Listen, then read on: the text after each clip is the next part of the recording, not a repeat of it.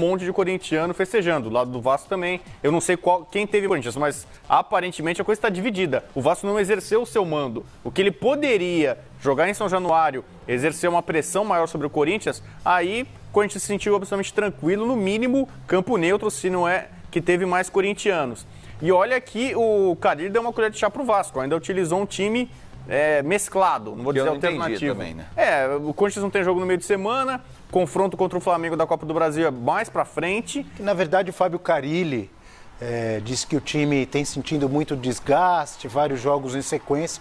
E ele já tinha dito que realmente ia colocar um time bem diferente hoje. O Jadson, por exemplo, como titular, né? Tá dando ritmo a alguns, né? O, o, Ja- o Jadson tá visivelmente fora de forma. Ele tem esse problema crônico, assim, ele acho que tem uma facilidade para engordar um pouquinho.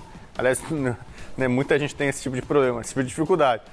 Mas é, é uma alternativa. Hoje o Wagner Love, para mim, seria titular. É o jogador de frente, para mim ele tem mais capacidade, mais qualidade técnica que o Gustavo, bem mais, e até que o Bocelli, que é um, jogo, um investimento caro que fica, às vezes, ali no, no ostracismo. Mas o Corinthians tem, para mim, muitos jogadores do mesmo nível. Você tem o caso do Carlos Augusto, Danilo Avelar e Carlos Augusto. A diferença, para mim, é, é- é mínima. Se você compara o Fagner com o que está jogando, especialmente nesse momento, com o Michel, aí sim, você pega na lateral direita, tem uma diferença grande. Pedro Henrique e Henrique. Pedro Henrique falhou é, em, em jogo recente, mas é, para mim também. Ah, o Henrique é baixa, não é?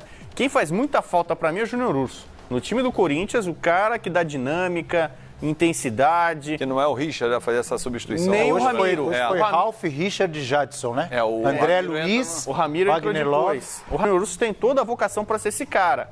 Não é o Richard, não é o Ramiro. Então a ausência dele faz o Corinthians ser mais moroso, ter mais dificuldade para criar jogadas. O Sornosa, claro que hoje está em muito melhor forma do que o Jadson. Então o Corinthians, a tendência é de melhorar com o tempo. O Carilli disse que até a parada para a Copa América pode esquecer, não vai ter jogo bonito, não vai ter jogo vistoso, não há condição. Por parte do Corinthians. Por parte do. Corinthians. Ah, não dá tá. pra treinar, não tem tempo pra treinar. Não? Essa Não. semana ele vai fazer o quê? É, ele- disse que não. Ah, não? É o discurso dele. Ah, não então tem. não. Ok. É. Vai ter uma semana inteira falei, treinar, cara, Carilli. o futebol Não, brasileiro, não. é- o futebol brasileiro é o futebol Desculpa, da hein. Futebol brasileiro é o futebol da desculpa. Ah, time não joga bem no começo do ano, é porque eu